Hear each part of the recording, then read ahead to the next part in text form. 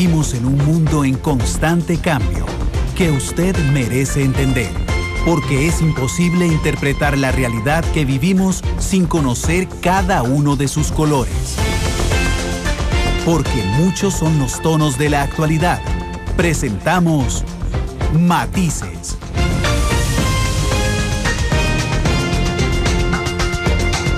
Una producción de Noticias Monumental.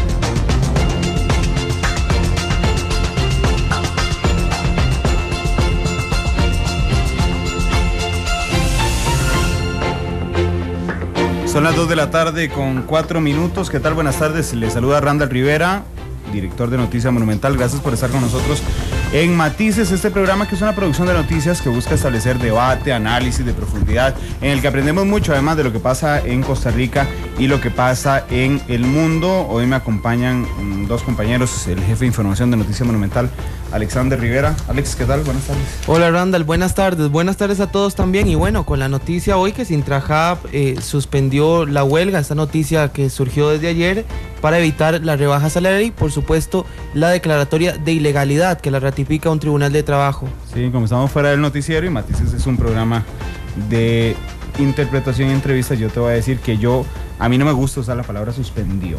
No. Levantó la huelga. Pero en realidad la está suspendiendo. En realidad se terminó la huelga. Sí. Otra, será una nueva huelga. Sí, así es, pero la huelga se terminó después de 15 días que pasaron los sindicatos eh, en, con esta actitud. Finalmente Em, ya lo analizábamos en el noticiero también. Sí, está con nosotros nuestra productora Isabel Martínez. Isabel, ¿qué tal? Buenas tardes. Buenas tardes, Alex. Buenas tardes, Randall. Y buenas tardes a las personas que siguen Matices. Y aquí hay que ver un punto muy importante sobre la, el aspecto del gobierno, la forma en cómo lo negoció. Sin duda, aquí es evidente que, y también lo ha manifestado así, de hecho, el analista Gustavo Araiza, que el gobierno sin duda ha salido ganando con todo este proceso. Sin duda, cuando uno lo ve muy frío, ¿verdad? y dice, bueno, vamos a ver, ¿en qué cambió la situación del inicio de la huelga hoy? En realidad nada, no, no varió absolutamente nada. Sale un gobierno fortalecido que impidió la paralización de los muelles en 10 horas. Y todo el manejo que dio, todo el manejo incluso de crisis. Vamos a ver, sí. el acuerdo para levantar la huelga no incluye ninguna de las solicitudes de Sintrahab, si usted se da cuenta. No está el cambio de la 9.1 del contrato, no está la renegociación del contrato de APM Terminal. Sin duda, la resolución del juzgado de trabajo en primera instancia, que hace unos instantes, hace una hora lo confirmamos en redes sociales, la confirmación del Tribunal de Trabajo de que la huelga fue ilegal, eh, vino a representar un fuerte músculo en la negociación, porque entonces obliga a Sintrahab a incluir en la negociación que no haya sanciones administrativas. Sí, así es. Precisamente en menos de que 12 horas después de que terminó la huelga, ya falló el Tribunal de Trabajo.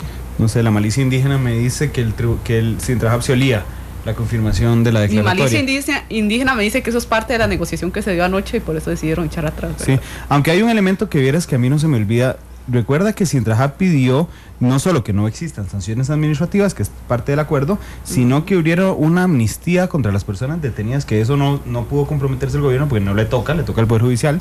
Y, usted no puede eh, no puede hipotecar la voluntad de un juez en, ¿verdad? ni de la fiscalía eh, pero Sintrajapa había dicho que la gente que hacía eh, actos allá, que había incendiado llantas y todo esto, no eran, no, no tenían relación con ellos. Pero en, el, en la solicitud los incluyen. Me pareció muy desprendido, sí, súper generosos. Claro. Imagínate, gente que no conocen y la incluyen, digamos, en, la propuesta de acuerdo. Eh, pero bueno, al final esto no puede incluirse. en la propuesta. Así es, y hablando de quién salió fortalecido, que en este caso coincidimos los tres que el gobierno, eh, quien sí salió totalmente eh, con una imagen negativa ha sido el Frente Amplio y así han coincidido varios analistas por su apoyo a, a Sí, esta mañana cuando leíamos en el noticiero, la cuenta de, Frente Amplio nos pedía que no olvidáramos el papel que tuvo su jefe de fracción, Gerardo Vargas. Ayer lo decía, antier lo decíamos. Como mediador. sí, sí, don Gerardo fue mediador en algún momento, intentó obtener ese, rol, pero era más un asesor de Sintrahab en todo el proceso. Es hasta que llega, llega doña Monserrat eh, Solano, que se enfrenta a su, primer, eh, a su primera mediación, pero insisto, con el músculo de la declaratoria de ilegalidad que finalmente lo que brinda, digamos, el espacio de negociación.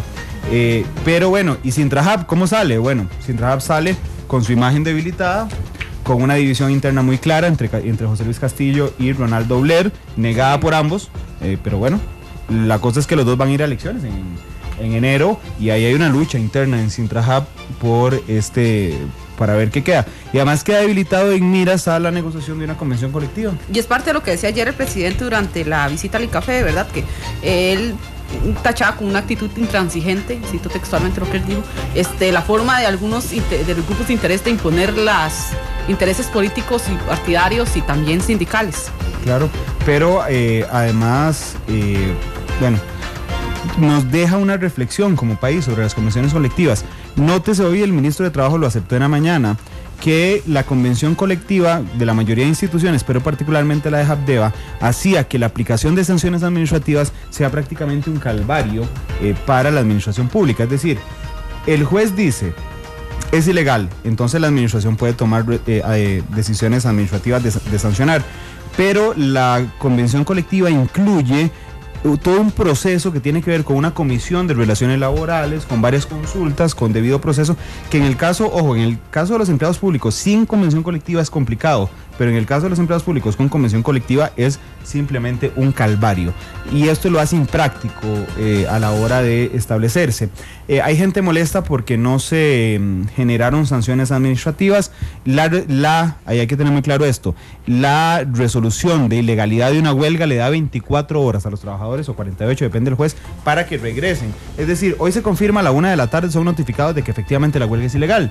Eh, no pueden aplicar sanciones porque inmediatamente lo que dice es tienen 24 horas para volver. Ya volvieron hoy en la mañana. Es decir, un minuto después de que se emite la resolución está cumplida el regreso a, eh, a labores. Bueno, y, fuimos pitonizos porque esta mañana le decíamos a, eh, al ministro de Trabajo qué pasa si hoy se confirma. Bueno, hoy se confirmó. Así es que bueno. Sí, sí, ya. Ya de una vez este, se ratificó lo que, lo que se creía que se iba a adelantar lo que ya había fallado antes el tribunal, que era que la huelga es ilegal. Sí, tema uno. Y tema dos, eh, Melvin Jiménez.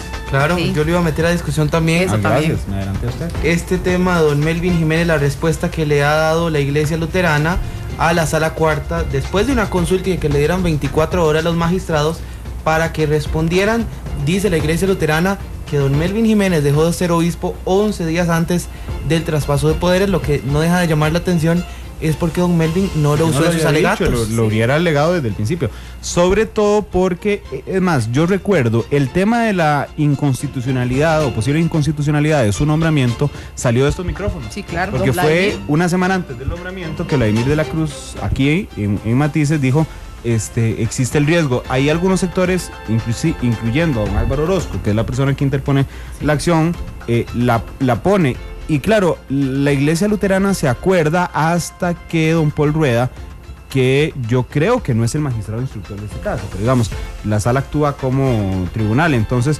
él le envía a la iglesia luterana las preguntas que tienen que responder en 24 horas, una nota que publicada la semana pasada Alexander, eh, sobre la investidura del ministro de la presidencia. La iglesia luterana dice que casualmente 11 días antes había dejado de ser obispo y don Melvin agarra esa respuesta. Perdón, me estoy brincando un paso. La iglesia luterana se presenta como coadyuvante en el proceso constitucional. Coadyuvante simplemente es, alguien que se presenta a apoyar alguna de las tesis de las partes y lo hace, tiene que justificar, digamos, tiene que justificarle a la sala porque a usted le interesa estar en el proceso. Ellos dicen, eh, si no me falla la memoria en, en el documento, que ellos están interesados en lo que el Tribunal Constitucional resuelva de su hermano Melvin Jiménez.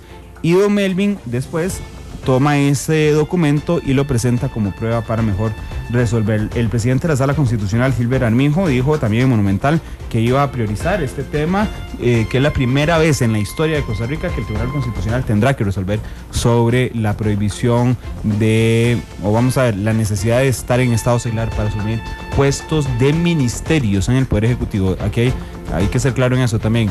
Eh, los únicos que tienen requisito de, estado seglar es el presidente de la República, los vicepresidentes y los ministros, no los presidentes ejecutivos ni tampoco los diputados. Porque de hecho en Incupesca recordemos que está, el padre Gustavo, y en la Asamblea Legislativa hay Don Gerardo Vargas. Don Gerardo Vargas. don Ronald, don Ronald bueno, Ronald, él, dice que él es sacerdote.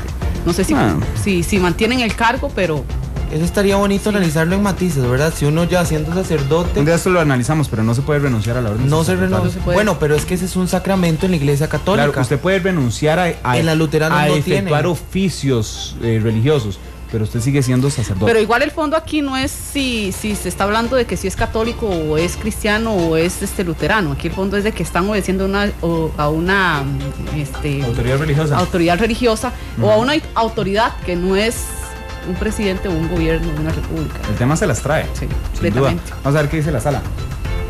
Yo la sospecho dividida. Me huele un voto 4-3, no sé para dónde, pero me huele un voto 4-3. 2 con 16. Ahora sí, hablamos de dos temas del día. Vamos al tema de fondo el día de hoy y es el comercio exterior de Costa Rica, las políticas costarricenses en comercio exterior. Vamos a esta hora a escuchar nuestro boceto, que es una justificación de por qué, de un estado de situación más de la política de comercio exterior costarricense y les presentamos a nuestro invitado. Las grandes obras inician con un borrador. Para elaborar el tema de hoy, este es nuestro boceto. Recordarles antes de ir al boceto que estamos en vivo 93.5 FM en cualquier parte del país, www.monumental.co.cr en cualquier rincón del mundo y en Canal 2 nos pueden observar esta noche a partir de las 8 en punto eh, y ahí comparten también con nosotros. Estamos en redes sociales en tiempo real, arroba monumentalcr, en Twitter, Noticias Monumental en Facebook y gracias a el POAS que nos está reportando ya sintonía a través de Twitter. El comercio exterior juega un papel fundamental en la economía del país. Durante 2013 Costa Rica generó 11.543 millones de dólares, es decir, 6.280 billones de colones eh, con un monto similar se construirían unos 89 hospitales como el de Heredia, por ejemplo. Asimismo, la inversión extranjera directa representó 2.682 millones de dólares, más de 1.4 billones de colones. Los cinco principales productos de exportación son los eh, procesadores y controladores. Solo estos artículos acaparan 20,6%, seguido del banano, la piña y los instrumentos médicos. Ahora sí, durante este año el gobierno entrante ha enfrentado un reto importante tras la partida de empresas como o el cierre de la planta de ensamblaje y prueba de Intel, Bank of America y Cartex Manufacturera. También en este momento autoridades trabajan para lograr el ingreso de Costa Rica a la Organización para la Cooperación y el Desarrollo Económico OCDE, sin dejar de lado las giras a países como Estados Unidos, China, Suiza y Emiratos Árabes Unidos, entre otros. En temas de comercio exterior hay muchos tonos que les mostramos hoy en Matices.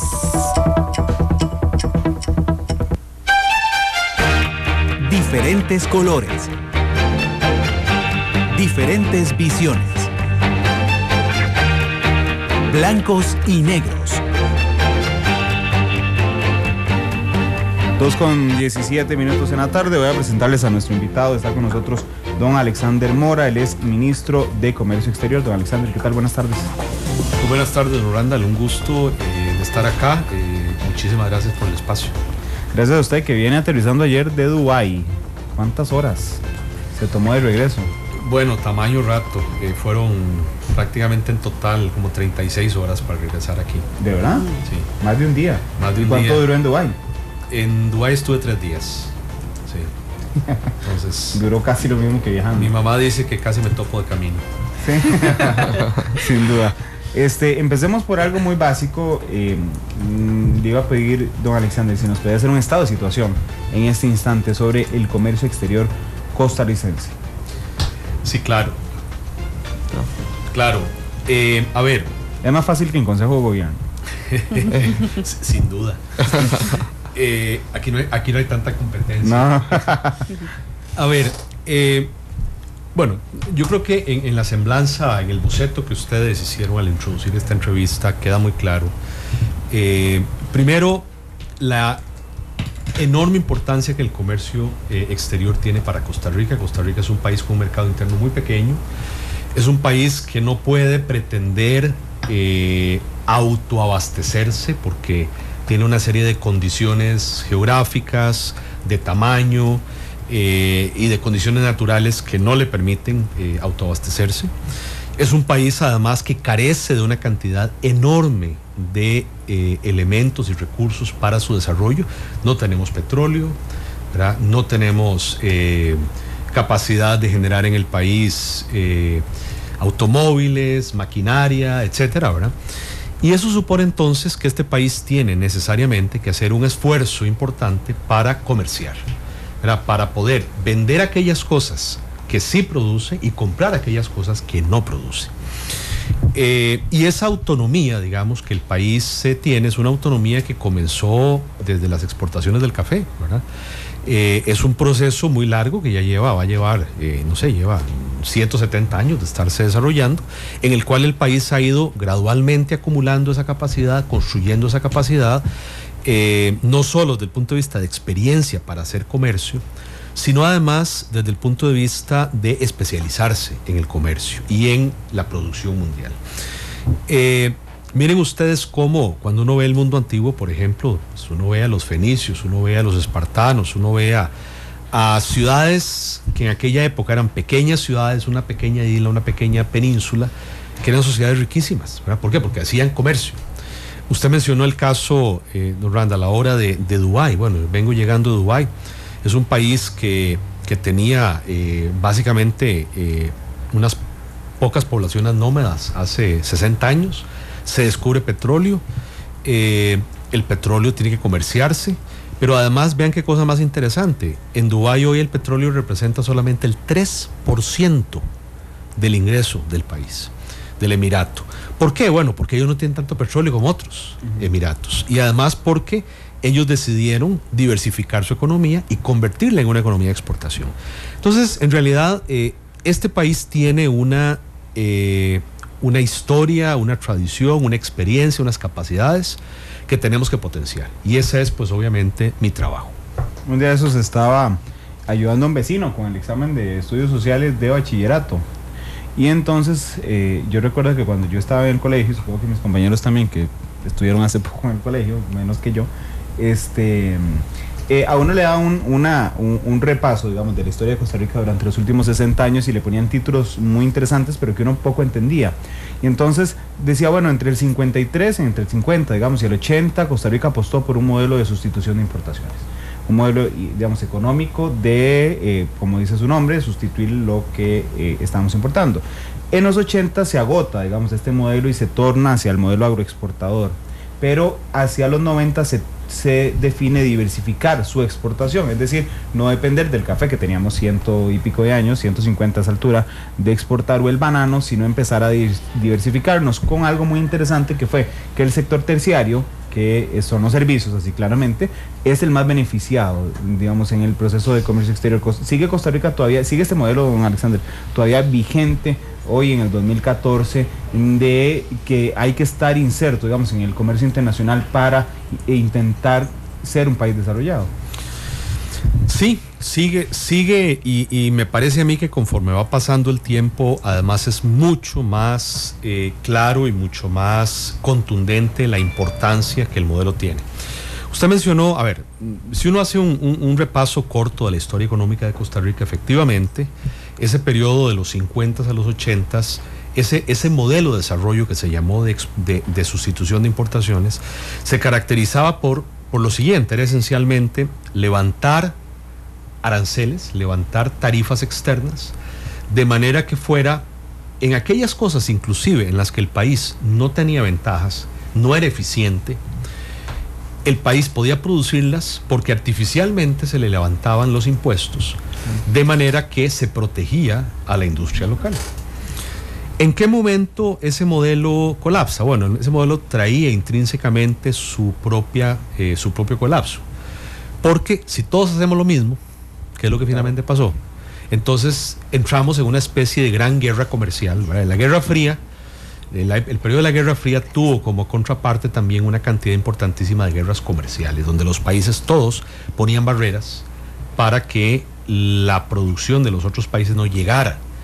¿verdad? Y eso finalmente hizo que eh, se convirtiera en inviable el modelo. Cuando Costa Rica unilateralmente, porque eso es importante mencionarlo, Costa Rica, el modelo de Costa Rica colapsa antes que en otros países de la región, y Costa Rica unilateralmente decide ir a un modelo abierto. Y comienza a bajar aranceles y comienza a poner a competir sus sectores económicos, aunque no tenía la reciprocidad de otros, otros eh, países. Eso fue una apuesta muy agresiva y una apuesta mm, probablemente hasta temeraria, diría yo, pero es que no había opción. O sea, simplemente no había forma de que el país con ese modelo lograra obtener las divisas que necesitaba para poder importar lo que Costa Rica no producía. Y ahí fue donde vino entonces, pues, toda la situación que supimos que se dio a, principios de los 80, el tipo de cambio, las escasez, o sea, todos recordamos, o bueno, los más viejillos recordamos las filas, ¿verdad? Porque los productos importados no se podían conseguir, ¿verdad? Porque no había con qué pagarlos, había un control de divisas porque no había, no había dólares. En fin, toda esa situación, ¿verdad? Bueno, generó eh, esa reacción, generó ese proceso y luego pues entramos en el proceso de, eh, del modelo agroexportador que tuvo como sustento lo que muchos recordamos, ¿verdad? Aquel eslogan de campaña política del entonces presidente don Luis Alberto Monge, volvamos a la tierra, ¿verdad? Que suponía, vamos a volver nuestros ojos a la tierra, vamos a producir esencialmente alimentos, en lo que tenemos grandes ventajas competitivas, y los vamos a exportar. Y esa va a ser nuestra apuesta para poder traer divisas al país y resolver la situación. En paralelo con eso vinieron otros cambios, ¿verdad? A partir de la mitad de los 80 entró el tema del turismo, donde Costa Rica se visibilizó, Centroamérica paró las guerras, vino el Premio Nobel de la Paz, eh, vino, eh, comenzó la tecnología, ese es un tema muy importante, comenzó en los finales de los años, a mitad de los años 80, el desarrollo tecnológico, en el cual Costa Rica, como tenía capacidades eh, humanas muy bien desarrolladas, tomó ventaja y se convirtió entonces en, se comenzó a convertir en un exportador de tecnología, de talento, ¿verdad? Y todo eso vino a sumar y dio entonces lo que usted mencionaba muy bien, que fue esa visión de diversificación de las exportaciones, que nos ha llevado a nosotros, y esto es importantísimo mencionarlo, ¿verdad? De un modelo donde nosotros a mitad de los 80 esencialmente exportábamos 5 o 6 productos, eh, básicamente agrícolas, ¿verdad? A 12, 13 mercados, a hoy donde exportamos más de 4.500 productos, a cerca de 153 mercados en el mundo. Y de esos, además, una gran cantidad con preferencias. Preferencias arancelarias significa que tenemos una condición en la cual tenemos un acuerdo con esos países, de manera que nuestros productos y servicios entran a esos países con, eh, con protección, o sea, sin aranceles, y además hay una serie de otros mecanismos para evitar, para impedir que haya barreras técnicas al comercio, porque recuerden que cuando se comercia, no solo estamos hablando de que puede haber eh, obstáculos al comercio, porque se le cobran impuestos a la mercadería que, se importa, sino porque además puede haber una serie de elementos técnicos, ¿verdad? Un, un, permiso, una certificación, una valoración, una inspección, ¿verdad? Que pueden hacer tanto más difícil importar que cuando hay aranceles. Y entonces ahí arranca este proceso que esencialmente continúa, Costa, Rica sigue en esta línea, pero luego pues viene todo este periodo, ya después de Intel diría yo, porque Intel pone a Costa Rica en vitrina, eh, genera algo que parece impensable y fue la posibilidad de que el país eh, se convierta en un país que atrae eh, empresas que producen bienes muy, sofisticados de componentes tecnológicos importantes. Y poquito tiempo después, cuatro años después que Intel se establece en Costa Rica y ubica a Costa Rica en el mapa de la manufactura sofisticada del mundo, aparece otra empresa a la cual se le ha dado poco crédito y para mí tiene un crédito tan importante como el de Intel, que es Procter Gamble. Procter Gamble es la primera gran empresa de servicios que decide instalar en Costa Rica ya por el año 99, el año 2000, un centro de servicios corporativo y es la que visualiza el gran potencial del recurso humano costarricense para proveer servicios en el mundo de una economía globalizada. Y después de Procter Gamble, así como Intel dispara una serie de otras inversiones en un lo que nosotros llamamos un ecosistema productivo de alta tecnología, de manufactura de alta tecnología, que luego deriva en componentes digitales, deriva en, eh, en, implementos médicos, una serie de cosas más. Procter Gamble viene a Costa Rica, se establece y pronto llama a otros proveedores suyos del mundo, que son en este caso Hewlett Packard e IBM, y les propone que vengan a Costa Rica y que se ubiquen aquí y que juntos, ¿verdad?, hagan un ecosistema de servicios corporativos donde hay una serie de elementos, ¿verdad?, que han ido evolucionando muy fuertemente. Usted mencionó las cifras de los eh, alrededor de 11.500 millones de dólares que exportamos el año pasado. Bueno, esos son solo los productos. Aparte de eso, hay 5 mil millones de dólares más de puros servicios, ¿verdad? Que tienen que ver ya con todo este otro conjunto de la economía costarricense que se ha venido desarrollando, donde hay empresas multinacionales y una gran cantidad de empresas nacionales, más de mil empresas nacionales, orientadas a este ecosistema de servicios muy eh, apalancados por la tecnología, muy habilitados por las tecnologías, particularmente las tecnologías digitales y las comunicaciones, que son las que posibilitan que esto se pueda eh, conducir al mundo.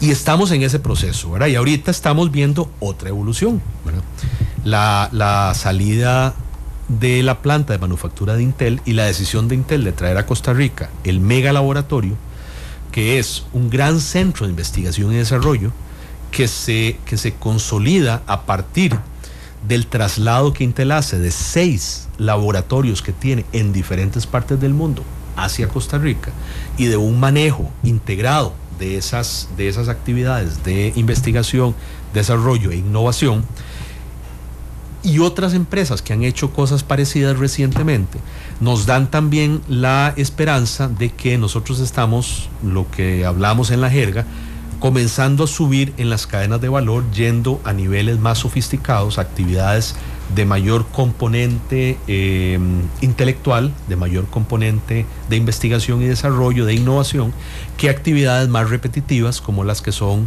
en manufactura. Sin embargo, Costa Rica es un país que necesita un balance. Nosotros tenemos dos, tenemos que reconocerlo, tenemos dos Costa Ricas. Tenemos la Costa Rica globalizada, que está conectada con las cadenas globales de valor, ¿verdad? Que es una Costa Rica, además, a pleno empleo, donde tenemos más demanda que oferta de puestos de trabajo. La estimación es que hay alrededor de 7 mil puestos de trabajo que no se llenan, para los cuales no hay gente en Costa Rica capacitada. Y la otra Costa Rica, una Costa Rica más de corte eh, industrial, agrícola, eh, pecuaria, pesquera, en la cual tenemos una cantidad importante de recursos, tierra, capital, personas, con niveles de desocupación importantes. Y ese desbalance es esencialmente un desbalance que tenemos que abordar y que tenemos que enfrentar y en el cual estamos pues enfocándonos. Don Alexander, ¿qué tan atractivo es Costa Rica para los inversionistas? Usted ha tenido que viajar muchísimo con el presidente Luis Guillermo Solís y también con la delegación del COMEX y, tienen que vender a Costa Rica eh, en todo un discurso. ¿Qué tan atractivo resulta para los inversionistas Costa Rica? A ver, Alexander, Costa Rica es tremendamente atractiva para los inversionistas. Nuestro problema no es, no es nuestro atractivo. Nuestro problema es lo que hacen otros que no son tan atractivos como nosotros para hacerse atractivos, ¿verdad? Porque se hacen cirugías plásticas, ¿verdad? Se visten de seda, ¿verdad? Ofrecen el oro y el moro, ¿verdad? ¿Como quiénes? Bueno, eh, yo les diría que casi todos los países tienen propuestas de valor extremadamente agresivas. Nada más para que ustedes tengan una idea. Nosotros hemos mapeado 3.500 zonas francas y zonas económicas especiales en el mundo. 3.500. Nosotros tenemos un poquito más de 10 en Costa Rica. Esas zonas francas están en unos 150 y pico de países. O sea que nosotros competimos con 155 por 150 y pico de países que tienen sus propuestas de valor y que utilizan herramientas dinero, eh, aspectos políticos, etcétera, ¿verdad? Para atraer y diferenciarse. Y creo que en esa lógica, ¿verdad? Nosotros como país hemos tenido además un abordaje relativamente, primero relativamente em, estático, diría yo. Vean que nosotros hicimos una reforma a la ley de zona franca en el año 2010 que está implementándose, que está todavía en fase, en el transitorio de implementación, que termina el año entrante. Pero esencialmente lo que hicimos fue básicamente darle una serie de beneficios adicionales a quienes invierten fuera del gran área metropolitana ampliada, ¿verdad? Y conservar en general lo que teníamos para el grueso de los inversionistas. Bueno, la realidad es que cuando uno va a la China, por ejemplo, o sea, yo conozco inversionistas, he estado en, en sesiones con inversionistas que nos dicen, nosotros tenemos una oferta de tal ciudad de China, de tal provincia de la China, en la cual nos reembolsan, nos reintegran el 100% de los costos que nosotros tengamos de cerrar una planta en cualquier parte del mundo y reubicarla en esa ciudad o en esa provincia. Estamos hablando de que puede ser que una provincia china le reintegre a una empresa 500, 600 millones de dólares, porque eso es lo que puede costar reubicar una planta de un lugar a otro. Son inversiones que no, sí. impensable para Costa Rica, ¿verdad? Tenemos casos, y no nos vayamos muy largo, tenemos casos de Panamá.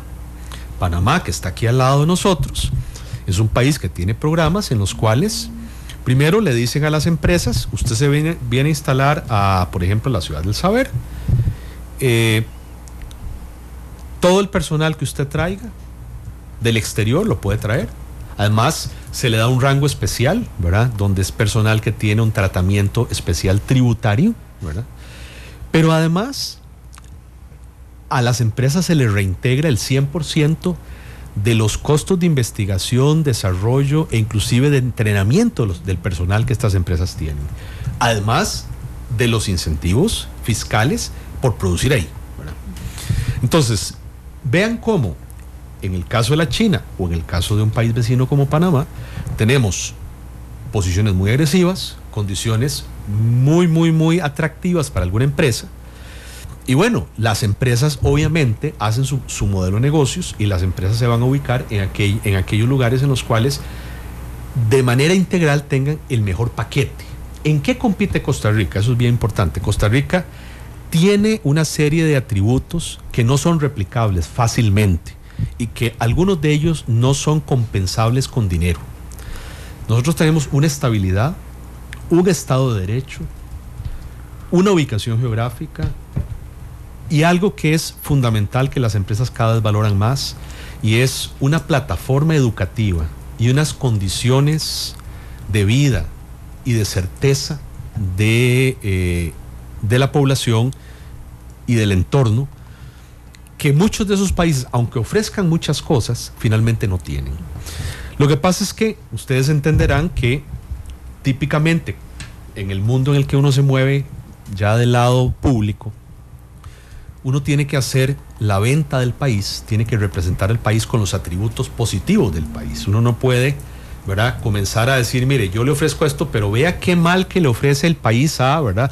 Todo esto, vea qué inestable que es este país, vea qué corrupto que es este país, Porque es algo que en el, ¿verdad? Que en la diplomacia y que en, los niveles ministeriales va en contra. Uno no puede adoptar un, discurso así, uno tiene que adoptar un discurso, ¿verdad? Muy firme en cuanto a sus capacidades, sus habilidades, sus virtudes, ¿verdad?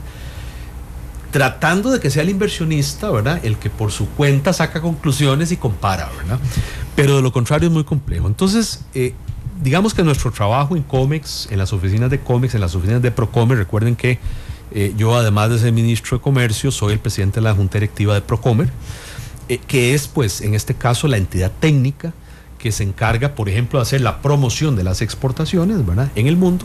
Y por otro lado, no tengo ningún rol activo, ¿verdad? Este, en la Junta Directiva de CINDE, que es la agencia especializada en promover inversiones, pero sí tenemos, a partir de este año específicamente, cuando el Estado eh, invirtió, digamos, el Estado transfirió a CINDE dinero para que CINDE haga promoción del país y de las inversiones, sí tenemos una línea de comunicación y un trabajo de, priorización en el cual estamos a través de esos recursos que el Estado le está trasladando a CINDE y que esperamos que para el año entrante se conserven en el presupuesto eh, de COMEX, A través de esos recursos tenemos la posibilidad de alinear el mensaje y de incorporarnos tanto la parte política en COMEX como la parte técnica de promoción de exportaciones y la parte técnica de promoción de inversiones en Procomen y en respectivamente, integrarnos en una visión mucho más articulada que nos permita a los tres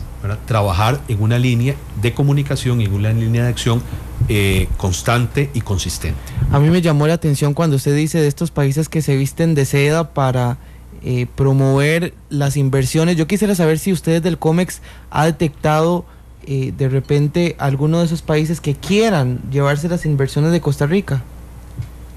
Sí, Alexander, tenemos, o sea, no son pocos los inversionistas, incluso las empresas nacionales que reciben propuestas, que reciben visitas, o sea, así como nuestra gente anda tocando la puerta y visitando las empresas, porque seamos claros, muchas de las empresas que nosotros tenemos en este momento visualizadas como empresas que potencialmente pueden invertir en Costa Rica, son empresas que hoy tienen inversiones en otros países y que sabemos que en los próximos meses o años van a tomar decisiones de si reinvierten en esos países o no. O en otro. ¿Verdad? Porque recuerden que las empresas, las tecnologías de las empresas, la línea de producción de las empresas tienen vidas. La vida útil tiene un cierto periodo. Cuando las empresas se enfrentan a un cambio tecnológico, un cambio de línea, de gustos de preferencia del consumidor, en fin, hay muchas razones por las cuales las empresas pueden decir, bueno, esta línea de producción que yo produzco en el país A, ya no la voy a producir más aquí o ya no la voy a producir más, voy a introducir esta otra línea de producción. Y entonces eso significa desmontar y montar una planta nueva, por ejemplo, en manufactura. Y eso supone un momento de oro ¿verdad? Porque no tiene por qué remontarse ahí, ¿verdad? Si esa, esa, esa, esa línea de producción es nueva, puede requerir otras habilidades, otro tipo de, proveedores, otro tipo de, de, relaciones, otras geografías, por ejemplo, ¿verdad? Porque su mercado está más cerca, ¿verdad? En otra parte que aquí. Bueno, entonces, así como nosotros estamos visualizando esas oportunidades, los otros países están detrás de las oportunidades que se van dando en Costa Rica. De ahí la importancia, por ejemplo, de que en el caso de CINDE, CINDE hace dos cosas CINDE atrae inversión y CINDE procura la reinversión en Costa Rica. Y eso solo se hace. En un ejercicio muy coordinado y muy bien articulado para poder que lo que las empresas vuelvan a hacer en Costa Rica, en, algunos casos son inversiones muy grandes, que ellos consideren a Costa Rica, pero estemos claros de que aunque la empresa esté en Costa Rica, normalmente está valorando condiciones competitivas en otros países, normalmente está recibiendo propuestas y algunas veces no es aquí. Es su casa matriz en Estados Unidos, su casa matriz en Alemania, su casa matriz en otra parte, la que está recibiendo ese tipo de, iniciativas. Por eso es que algunas veces, por ejemplo, cuando nosotros viajamos, ¿verdad? Y viajamos a hacer gestiones de promoción, eh, ¿verdad? La gente como que no entiende bien a qué va uno. Bueno, uno, uno, es, un, uno, es, eh, uno es el vendedor y el, y, el, y el experto en mercadeo en el país. Y muchas veces uno tiene que ir porque políticamente se necesita que uno vaya a una reunión, a una actividad, ¿verdad? a un evento en el cual uno se va a encontrar con personas que sabe uno que están evaluando irse de aquí, por ejemplo, y que hay que sentarse a hablar con ellos, decirles, mire, ¿qué es lo que usted identifica? ¿Cuál es el, el discriminador? ¿Cuál es la razón por la cual usted tomaría esa decisión? O en el otro sentido, empresas que uno sabe que están visualizando a Costa Rica, pero que tienen ocho países en la lista y que esos ocho países los están visitando regularmente, ¿verdad? Y eso tiende a ser una de las actividades más comunes que tenemos que hacer en COMEX. ¿Y hay alguien que se esté llevando las inversiones de Costa Rica? ¿Han identificado en el COMEX? A ver, hemos identificado, a ver, tal vez lo pongo en el siguiente sentido. Nosotros como país participamos en lo que se llama en la, en la jerga las cadenas globales de valor. Esto esencialmente eh, lo describo de la siguiente manera. El mundo, la tecnología, los medios de transporte, permiten que las empresas tengan estrategias de producción que están distribuidas por el mundo. Entonces, las empresas tienen que hacer un balance entre distancia, Costos de transporte, mano de obra local, tecnología, estabilidad, eh, costos de la electricidad, eh, del agua. Diversos factores. Todos esos factores. Entonces las empresas hacen todos esos factores y montan modelos. Esos modelos les dan a las empresas básicamente eh, de las condiciones de costo y beneficio. Y las empresas están analizando eso constantemente. De hecho, hay expertos internacionales, hay empresas que se especializan en proveerle a las empresas esas capacidades. Con las mejoras en, el transporte, con las mejoras en la información, en la tecnología, etcétera, lo que sucede es que nosotros tenemos claramente que la producción ahora se hace de manera distinta. Un componente, por ejemplo, una computadora, como estas que ustedes tienen acá en, el estudio, es una computadora que probablemente puede tener partes que fueron construidas en 20 países distintos, ¿verdad? Y que todas van, ¿verdad? Y, que al final se ensamblan en un solo país. Entonces puede ser literalmente 20, 25 países los que contribuyeron en, en permitir que esa computadora se hiciera.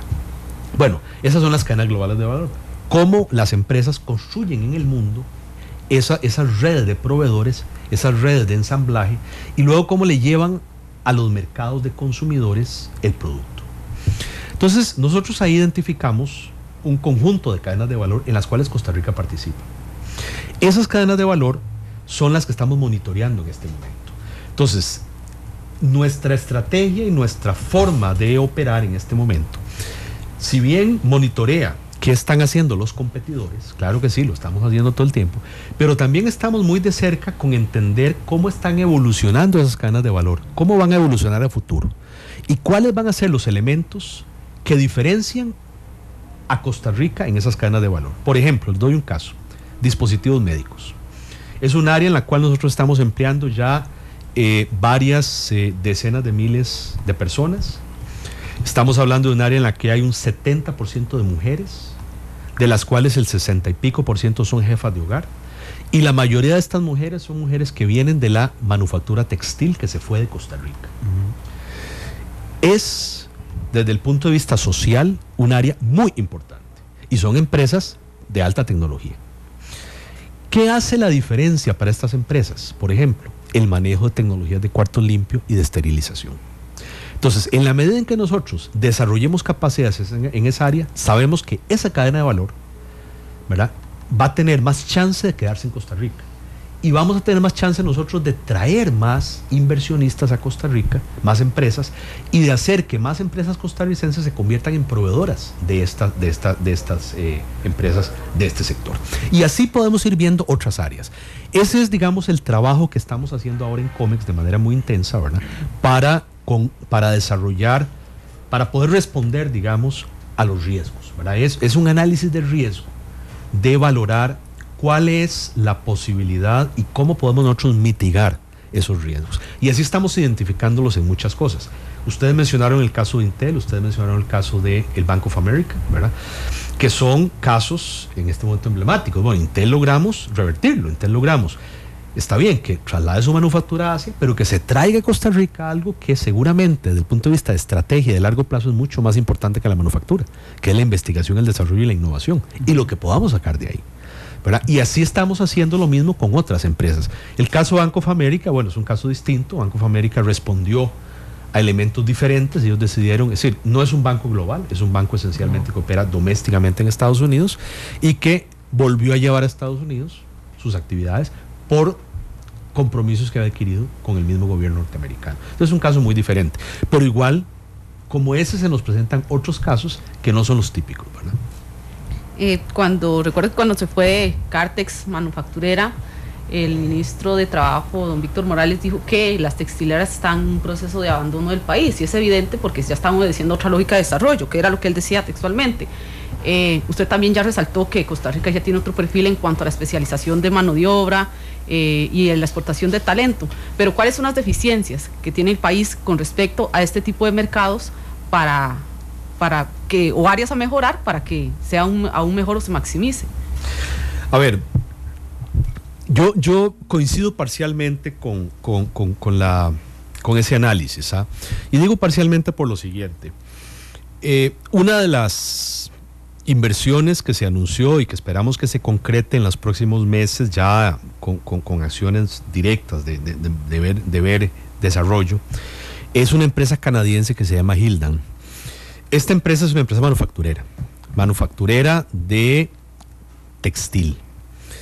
Sin embargo, es una empresa ¿verdad? que tiene un modelo de negocio muy particular porque no toda la actividad textil es de la misma complejidad o sofisticación. Hay actividades que son, en lo textil hay actividades que son, digamos, más sencillas. Por ejemplo, la costura es relativamente más sencilla. Eh, y hay actividades que son mucho más complejas. El diseño, por ejemplo, el empaque, el aseguramiento de calidad, el desarrollo, la investigación de nuevos materiales. ¿verdad? Esas son cosas mucho más complejas. Entonces, si uno tiene una empresa que tiene una gran actividad manufacturera y que necesita una gran cantidad de personas que hacen costura, que es una actividad, digamos, relativamente simple, bueno, pero para que esa empresa pueda aumentar su producción, esa empresa probablemente tiene que tener diseño, tiene que tener, ¿verdad? Eh, qué sé yo, producir sus propias telas en algunos casos, sobre todo cuando se trata de telas que ya tienen elementos, por ejemplo, biológicos incorporados, ¿verdad? Nuevos materiales, etcétera. Estas telas nuevas que, que si el cuerpo se encalora, este, eh, se ponen más frescas, ¿verdad? Y viceversa. Entonces, Gildan es un caso muy interesante. Gildan es un caso donde ellos van a montar en Costa Rica una operación grande, cerca de 2.000 personas, cuando esté operando ya Madura, pero van a tener en Nicaragua... ¿Para cuándo? Bueno, eh, ellos esperan estar ya en, fases de construcción temprano el próximo año. Pero vean qué interesante. perdón, va a ampliar. 2.000 personas. Entre mí, sí, eh, va a llegar, esperamos que eso llegue al orden de 2.000 personas cuando esté ya madura el proceso. En Costa Rica, ¿verdad? Y ellos están ubicando en Liberia. Entonces una, va a ser un ancla importante de empleo en Liberia. Pero vean qué interesante. Gildan ya tiene una serie de actividades de manufactura en Rivas, en Nicaragua. Y tiene literalmente miles de personas cosiendo en Rivas, Nicaragua. Y las operaciones de Nicaragua y las operaciones de Costa Rica se van a conectar. Van a ser operaciones que operan de manera conjunta. En Costa Rica se van a hacer algunas partes de mayor valor agregado y complejidad, corte, eh, teñido de telas, fabricación inclusive de algún, de algún tipo de telas, empaque, ¿verdad? y aseguramiento de calidad, administración de ciertos proyectos especiales se van a hacer aquí. Y en Nicaragua se hace una parte un poco más sencilla. Entonces, ¿por qué? Bueno, esencialmente por las capacidades de recurso humano ¿verdad? que hay eh, en un país y en el otro. Esto para mí es muestra de que la manufactura incluso no está muerta en Costa Rica y que Costa Rica tiene chance de hacer cosas de manufactura. Y por suerte es así. Porque yo les mencionaba a ustedes que nosotros teníamos en realidad la realidad de dos países, ¿verdad? Una parte del país globalizado, pegado a las cadenas globales de valor, y la otra parte del país todavía muy en la lógica de la economía doméstica y de algunos mercados no tan sofisticados. Y esa parte, esta segunda parte, es la parte que tiene desempleo. Nosotros, desgraciadamente, aunque quisiéramos, no toda nuestra, nuestra población tiene las capacidades de trabajar en la industria de servicios de alta tecnología. Sería ideal que nosotros podamos mover a toda nuestra población a, ese tipo de actividades, pero lo cierto es que todavía tenemos una cantidad importante de costarricenses que por razones económicas, por razones sociales, por diversas razones, no pudieron aprovechar las capacidades de educativas y de desarrollo que el, país, que el país tiene.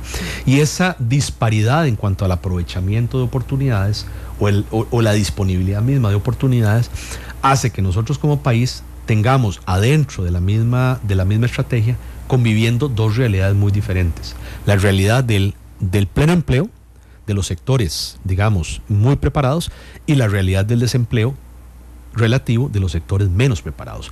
Y eso, desde el punto de vista de política pública, es un gran reto. ¿verdad? Porque es como hacer política pública para dos países distintos. Pero tenemos que abordarlo, tenemos que hacerlo con mucha, mucha mucho compromiso y eso es lo que desde el punto de vista de la integración, particularmente el comercio exterior, con la economía doméstica, con, mi colega don Welmer Ramos en el Ministerio de Economía, con, don, Felipe, don, Felipe Arauz en el Ministerio de Agricultura, con, con don Víctor Morales en el Ministerio de Trabajo, y otros ministros con los que estamos trabajando, pues nos estamos sentando de manera sistemática a abordar esta problemática.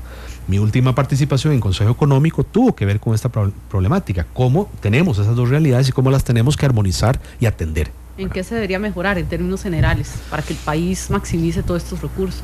Bueno, eh, hay muchísimas cosas que mejorar, ¿verdad? Este, lo primero, tal vez el primer, el primer concepto a mejorar es el concepto de la competitividad. Nosotros tenemos como país una deuda con la competitividad. Cuando hablamos de competitividad, hablamos de algo relativo, no es absoluto. Son, por ejemplo, trámites. Tenemos un país muy burocrático en una serie de trámites. En, en, muchas áreas nosotros partimos de la desconfianza y bueno, y a la larga, por situaciones históricas que enfrentamos de corrupción, no es, eh, digamos, uno no puede achacarle eh, a las autoridades o a la evolución que el país tuvo toda la culpa, ¿verdad? Pero vean, por ejemplo, una diferencia fundamental. Hace, hace unos meses estuve en España y me presentaban en España las medidas que España ha hecho para poder sobreponerse al problema de desempleo que tiene. En España, para abrir una pequeña empresa, si el área del negocio es inferior a 100 metros cuadrados, todo lo que hay que hacer se hace, para obtener los permisos, se hace a través de una declaración jurada. Y luego, una vez que el negocio está operando, vienen a inspeccionar que todo lo que yo juré que iba a hacer, lo estoy haciendo. Y si hay algo que no estoy haciendo, entonces hay un debido proceso a través del cual me dan un plazo para que yo corrija esa situación. Ese es un caso. Otro caso, ¿verdad? Que es muy común en muchos países es el tema de las expropiaciones. Se expropia bajo interés público, bajo la necesidad de utilizar una, una zona, pero el expropiado tiene todo el debido proceso, pero no puede impedir no puede parar la obra indefinidamente, sino que conduce un proceso legal, ¿verdad? En el cual puede salir favorecido, puede no salir favorecido, puede salir parcialmente favorecido, pero ya la obra va en camino. Entonces, nosotros hay muchas cosas en las cuales tenemos que hacer cambios importantes. El tema, por ejemplo, de la energía. Sabemos que tenemos energía cara. Nosotros además nos hemos puesto como país o autoimpuesto como país una disciplina muy atípica y es no queremos explotar recursos minerales, no queremos hacer explotación petrolera, no queremos hacer explotación de gas. ¿verdad? Masivamente la población está en favor de que conduzcamos un desarrollo diferente, ¿verdad? pero ese desarrollo supone que tenemos que tener energía y tenemos que hacer un trabajo muy fuerte de energía. Bueno, el proceso para hacer eso es un proceso que va muy lento, ¿verdad? y el presidente Solís lo está tratando de acelerar. ¿verdad? Estamos haciendo una serie de iniciativas en el gobierno pero eso lleva su tiempo. Entonces, ese concepto en competitividad tiene esas características de que hay una serie de elementos sobre los cuales hay que trabajar que son elementos complejos de gestionar porque suponen que el país madure y mejore en una serie de aspectos de la administración pública, de la política pública. De ahí, por ejemplo, el énfasis tan grande que el presidente Solís y el gobierno le estamos poniendo a la Organización para la Cooperación y el Desarrollo Económico, a la OCDE, porque esta es la organización del mundo mejor enfocada, mejor equipada para convertirse en un gran asesor del país en toda esa materia, digamos, de simplificación, de mejora de trámites, de mejora de la eficiencia y la eficacia del sector público, ¿verdad? Y de creación de capacidades del sector público y también de vigilancia de los mercados, ¿verdad? Porque un tema muy importante es que la OCDE no es solamente un tema de política pública, es también un tema de competencia de los mercados, ¿verdad? Por ejemplo, un reciente informe que nos ha hecho la OCDE nos, nos desnuda la problemática tan complicada que tenemos nosotros de, de, mala, de malas condiciones de competencia en los mercados domésticos de Costa Rica. El mercado de alimentos, el mercado de medicamentos, mercados de transporte, etcétera, que son mercados en los cuales tenemos dificultades importantes que inhiben, ¿verdad? Que impiden que mucho del beneficio del comercio le llegue a la población, ¿verdad? Entonces, es un tema amplio. El otro tema es el recurso humano, ¿verdad? Donde tenemos que hacer un trabajo realmente importante de modernizarnos, de actualizar nuestra plataforma educativa, de considerarnos, de ponernos de verdad la obligación de ser un país perfectamente bilingüe, donde la educación pública logre llevar a una persona a un nivel de bilingüismo, por lo menos, ¿verdad? donde las competencias técnicas, las, eh, las tecnologías, las capacidades de uso de tecnología y de dominio de las tecnologías sean parte de la formación integral de las personas, donde las habilidades suaves, la capacidad de trabajar en equipo, la, la, creatividad, la capacidad de emprender, etcétera, sean condiciones que se estimulan desde, desde la escuela, desde, desde abajo, ¿verdad? y que eso finalmente genere un entorno en el cual nuestra población sea muy competitiva para poder ser la contraparte de las empresas que quieren hacer aquí cosas sofisticadas. Y ahí sí ganamos entonces. En una combinación de estas cosas, claramente ganamos la partida. Son las 2.59. Vamos a una pausa comercial antes de que nos quiten inversiones a nosotros. Eh, pero le extrañé una cosa, porque Alex se lo insistió en dos ocasiones, que era, yo sé que eh, cuando uno dice quiénes son nuestros competidores, es el mundo.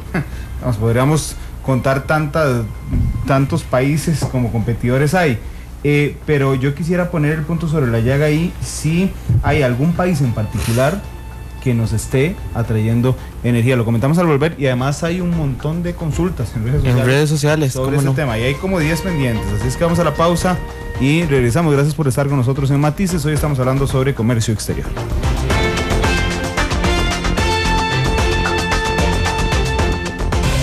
Analizamos los tonos de la actualidad. Exploramos sus contrastes. Matices.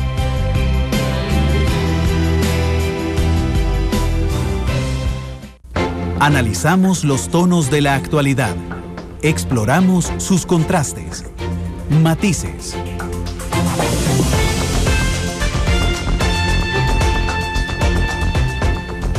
sobre comercio exterior con el ministro de Comercio Exterior, don Alexander Mora. Hay muchas eh, preguntas en redes sociales, así que voy a, intentar resumir las preguntas. Pero empecemos por la que no nos respondió. sí, voy a empezar por esa.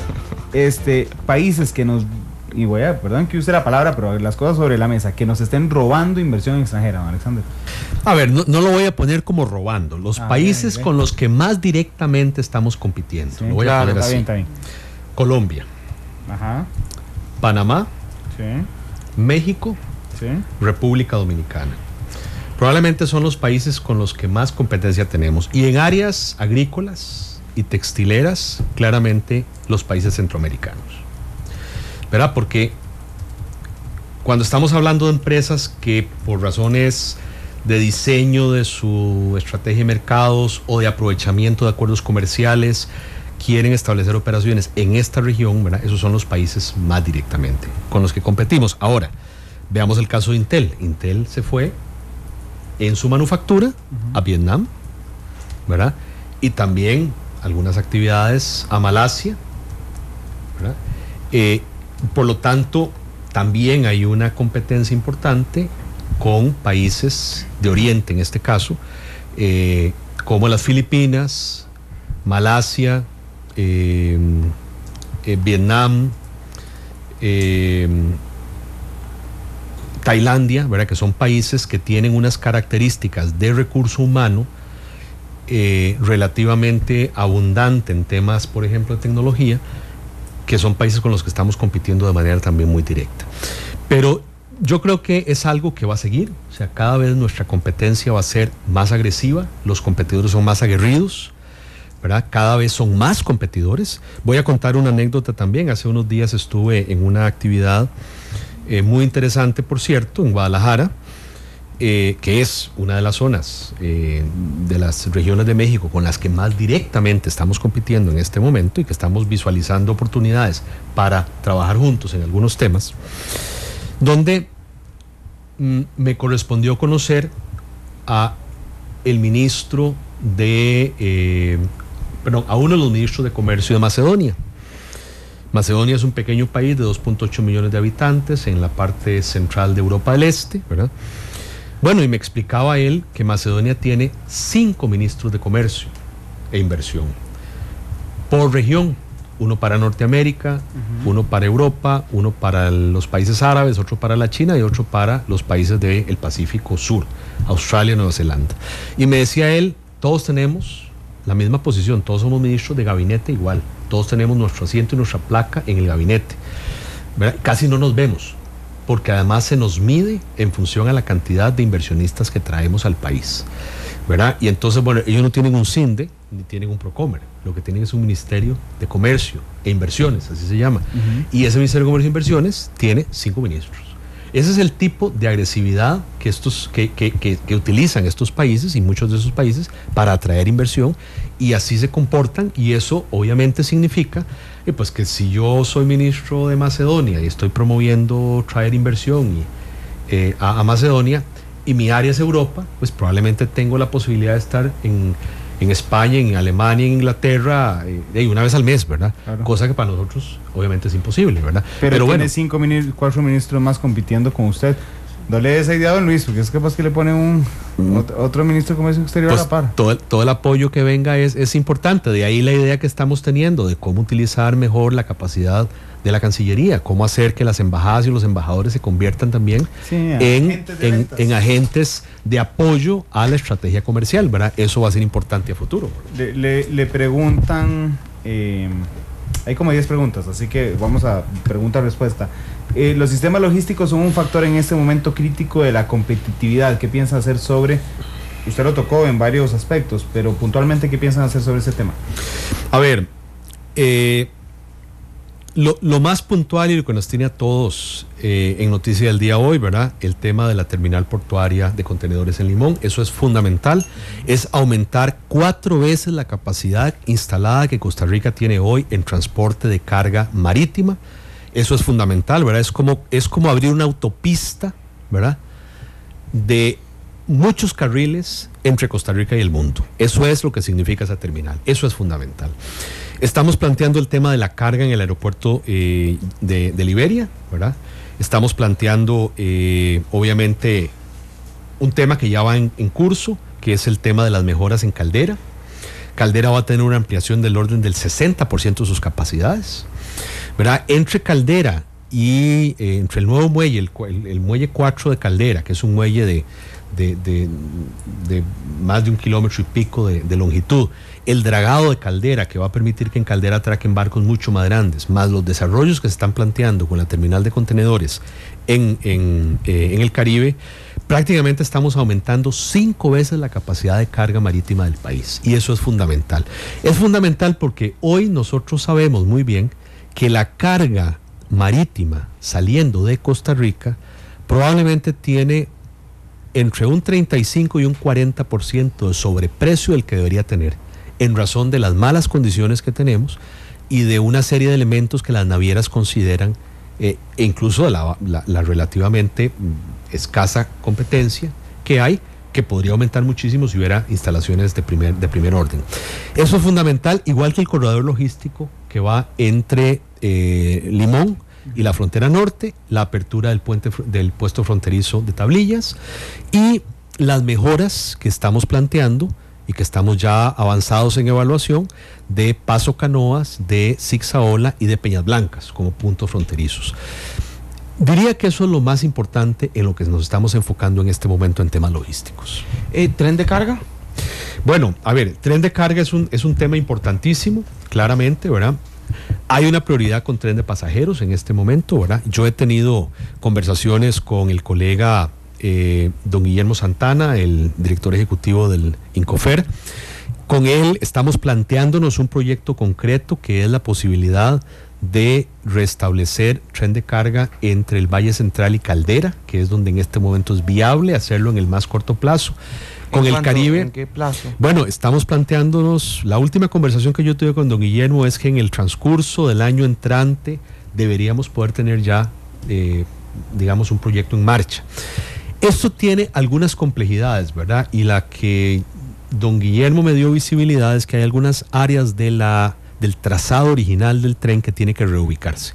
Porque la pendiente para un tren de carga es demasiado alta.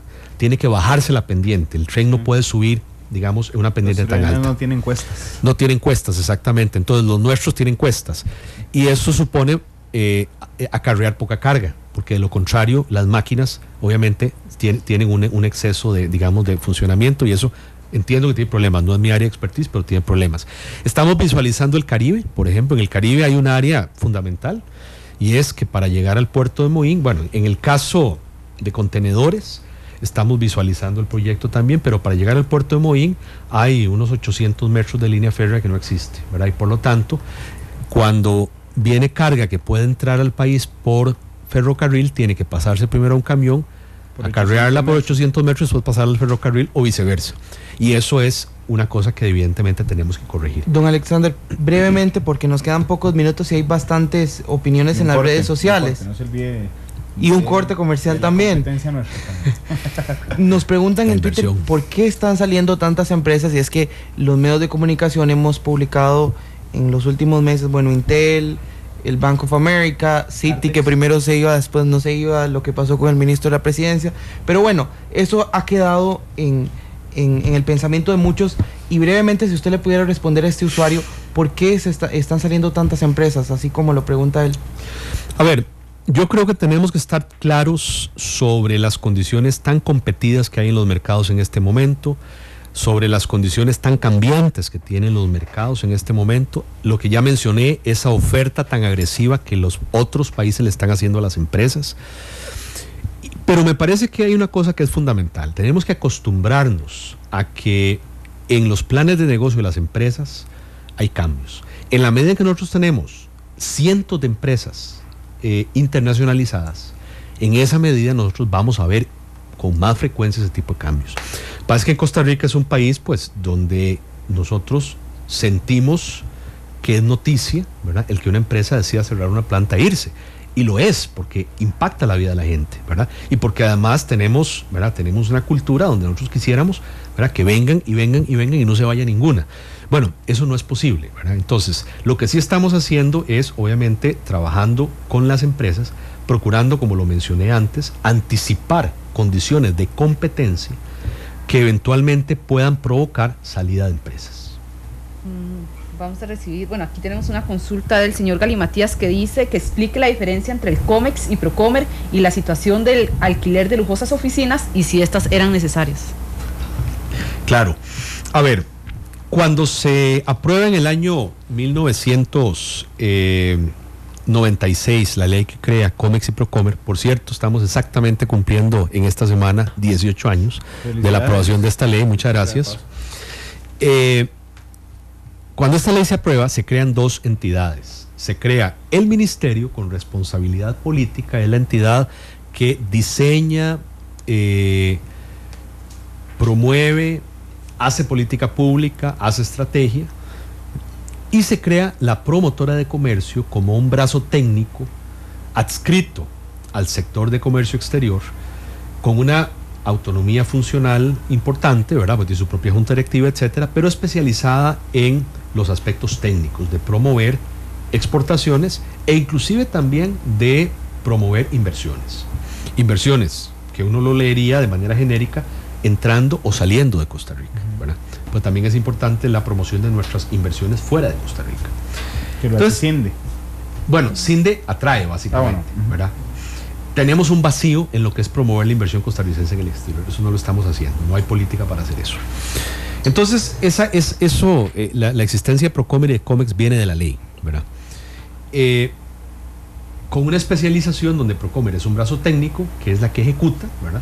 Procomer tiene en este momento 14 oficinas en diferentes países del mundo que son oficinas donde hay promotores de comercio que están constantemente promoviendo la colocación de producto costarricense y el foco de Procomer esencialmente es ese y apoyar al nuevo exportador o al exportador pequeño y mediano. Entonces es una agencia que dicho sea de paso está catalogada en este momento como la agencia mejor calificada en el mundo por el Centro Internacional de Comercio de la Organización Mundial de Comercio por su grado de madurez y por, él, eh, y por las capacidades que tiene en este momento desarrolladas. Eh, Procomer tenía, el tema del edificio, Procomer tenía un edificio que estaba al lado del Centro Colón, aquí en San José. Era un edificio construido hace más de 30 años, que tenía un solo ascensor, una sola batería de, escaleras. Tenía, eh, había sido dañado en varios terremotos, tenía reportes de expertos ingenieros que advertían que el edificio e, en un sismo de cierta, de cierta intensidad eventualmente no colapsaría, pero, podría quedar en condiciones inhabitables. Entonces Procomer se plantea la necesidad de salir de ahí, ahí operaba Comex. Procomer vende ese edificio, con lo que obtiene de ese edificio, paga el 60% de un nuevo edificio, ¿verdad? Completa el otro 40% con presupuesto propio y adquiere un nuevo edificio y entonces Comex le alquila a Procomer una parte de ese nuevo edificio porque por la por la, el tipo de trabajo que hacemos las dos instituciones juntos tiene todo el sentido estar juntos, estar cerca. Y si ustedes van allá, ustedes invito a, los invito a ustedes, invito a, a, cualquier costarricense que quiera conocer el ministerio y a Procomer que nos, que nos visiten. Tenemos perfectamente tours que podemos darles y esto nos, nos ha permitido a nosotros pues tener unas mejores condiciones y además tener un lugar mucho más apropiado para trabajar. Es importante mencionar que efectivamente Comex paga un alquiler a Procomer que Procomer reinvierte en el mismo sector de comercio exterior, en beneficio de las pequeñas y medianas empresas. Entonces estamos ¿verdad? en un escenario muy interesante porque es un activo del Estado, hay que estar claro en esto. El edificio donde Comex y Procomer está es del Estado costarricense, ¿verdad? y simplemente una parte del Estado le paga a otra, ¿verdad? como sucede en, en muchos otros casos. Son las 3 con 18. Vamos con la última pausa comercial porque nos quedan dos preguntas para mí básicas. Una es eh, el tema de CINDE, que efectivamente trae inversiones, pero es una organización privada y quiero eh, ahondar, aunque sea un, minuto, en el tema. Y el otro es una manifestación que hizo don Rogelio Douglas aquí la semana pasada, el gerente de APM Terminals, que después aclaró él en la noche, don Alexander también, en el sentido de que gerentes de APM habían acompañado al presidente Solís a Estados Unidos en búsqueda de inversiones. Regresamos creo que con tres minutos de tiempo para desarrollar tipo de debate presidencial. Estos temas. Vamos a la pausa, regresamos.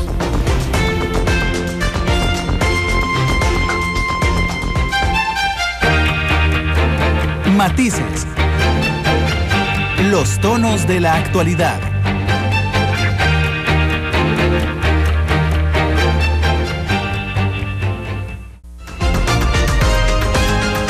La actualidad, sus tonos, sus contrastes. Esto es Matices.